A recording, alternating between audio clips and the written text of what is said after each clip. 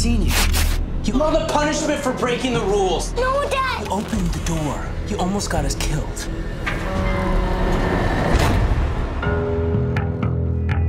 You have to stay hidden.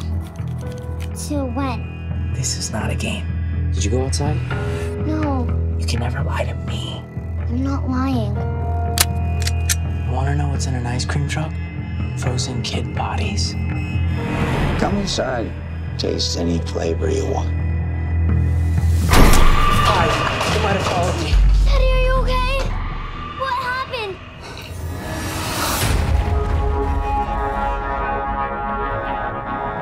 You use the term freaks. Any freaks who are running loose are illegal. You better get away from my house.